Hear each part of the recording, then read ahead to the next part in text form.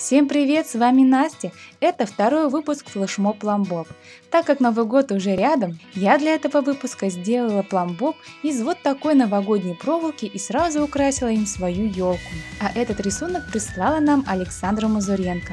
Как видите, тут указано название нашего проекта и то, что мы лучшие. Следующий рисунок прислала мне Ариночка Субботина. Сразу видно человека, который любит Sims 4. Если бы Пламбо был человеком, Яна Ежурова нам это наглядно продемонстрировала. Нарисовала вот такую девушку в костюме цвета зеленого пломбоба. Лена Шевчук сделала вот такую фенечку на руку с надписью Sims 4. Я бы такую с удовольствием надела. Следующие две работы мне прислала Пина Фуруда. Возможно, вы их где-то уже и видели. Это рыба-удильщик и растение корова проглотис людоедия, сделанные из полимерной глины.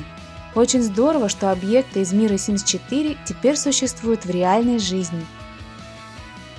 Спасибо всем ребятам за участие. А вы, если хотите, чтобы и ваши работы попали в видео, присылайте мне фотографии ВКонтакте.